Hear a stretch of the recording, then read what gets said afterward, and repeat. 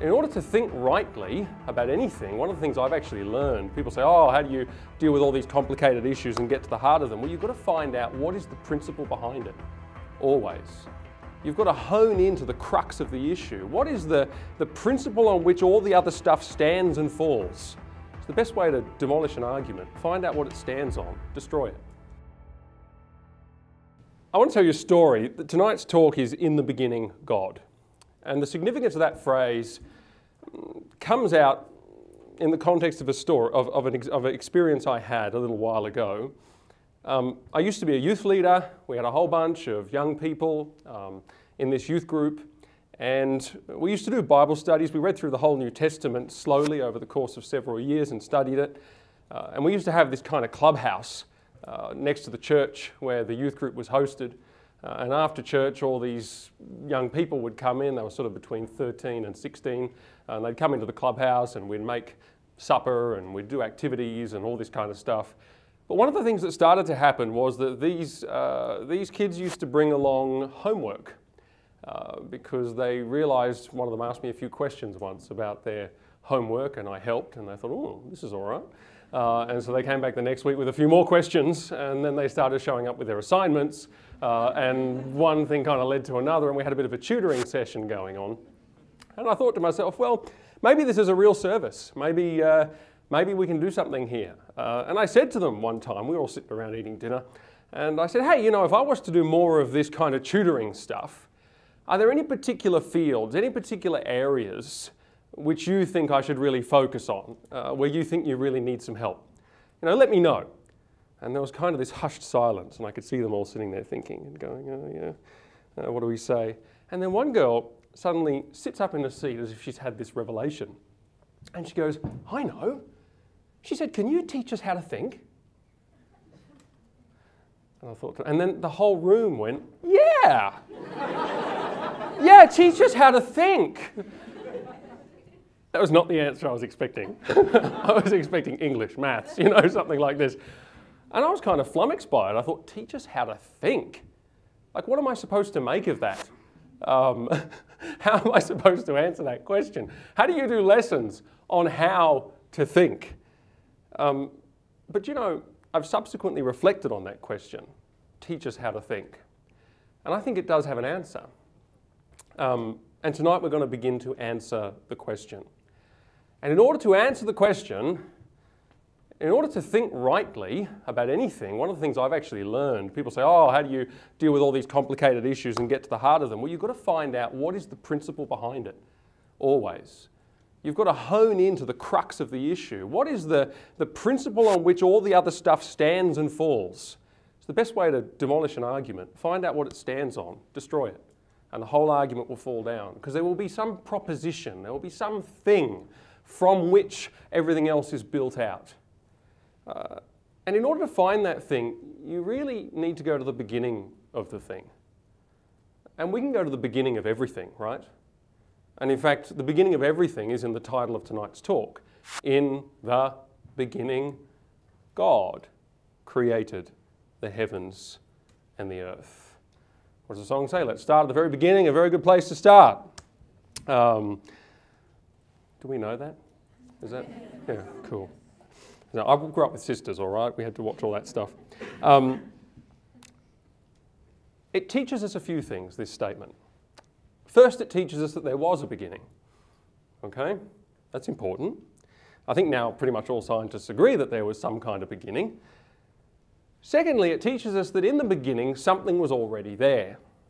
God was there in the beginning, right?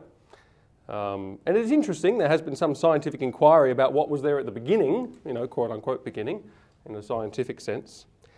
Uh, but finally, thirdly, in the beginning, it was God who caused the beginning. He initiated it, He ignited it, He made it happen. The reason this is important is because it is a statement about all things, all reality, all existence all being. This is the truth about everything that God began it. God is the creator.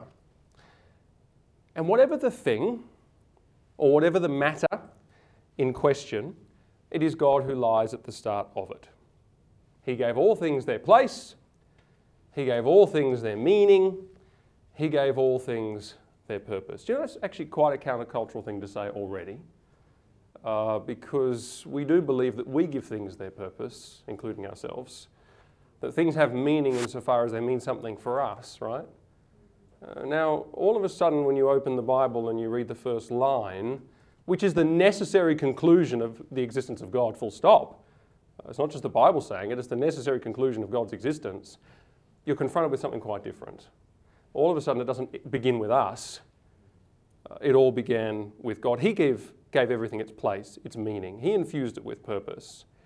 Therefore, a person cannot think rightly, pardon me, about anything at all unless they think from this foundation about anything at all. Um, and I don't just mean things like chairs or trees, or, but I mean the whole stuff and substance of life and living and the world.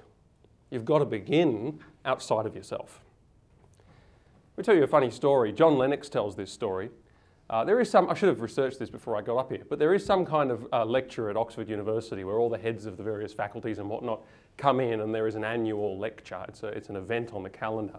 Uh, and John Lennox, Professor John Lennox, for those of you who know him, had to do that lecture one year. And he tells us, told a story. He said, suppose I was to come in here with all of you most learned minds you know, in, the, in the world, and I was to come in here with a chocolate cake.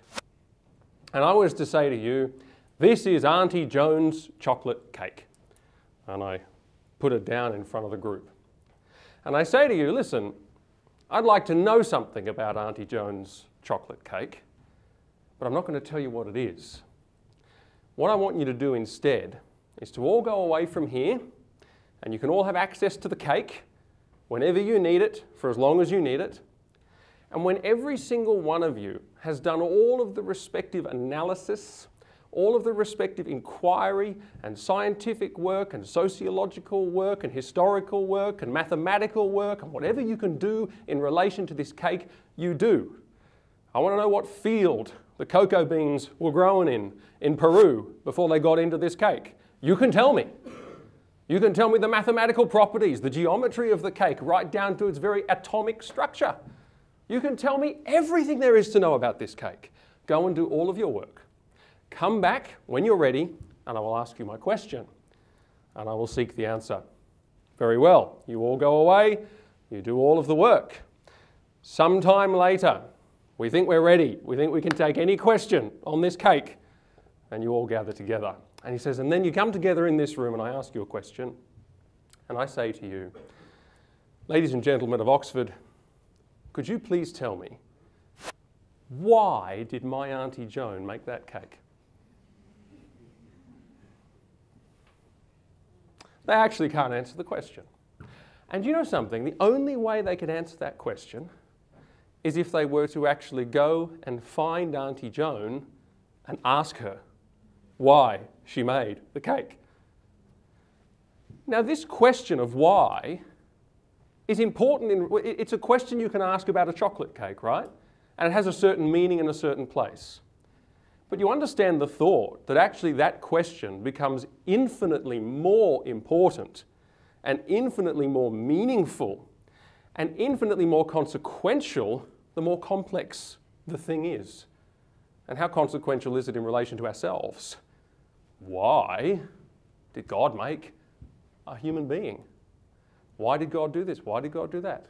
There are questions you cannot answer. There's revelation you cannot have on a subject.